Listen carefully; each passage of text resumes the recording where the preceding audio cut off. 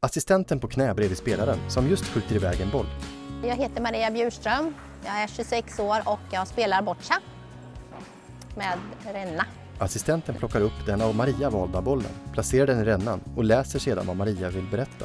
Eh, Maria säger att hon hittade sporten 05 på Göteborg Open. Det är ju en jättestor tävling för funktionsnedsatta som en rekryteringstävling. Så hon hittade sporten där. Och eh, sen har hon spelat sedan 07. Maria har en pinne fastsatt på ett huvudskydd. Med den puttar hon bollen som sedan snabbt rullar ner för den vinklade rännan. Eh, Maria säger att även om man har en grav funktionsnedsättning så är det här en sport som eh, man kan få tävla och komma ut och spela i hela världen. Maria och en motspelare kontrollerar med assistentens hjälp vem som är bäst. Maria pekar på sin skrivtavla. Maria säger att eh, bockan är mer coolare och häftigare än vad man tror. Varje boll har ett syfte. Assistenten kontrollerar med Maria så att hon uppfattar henne korrekt.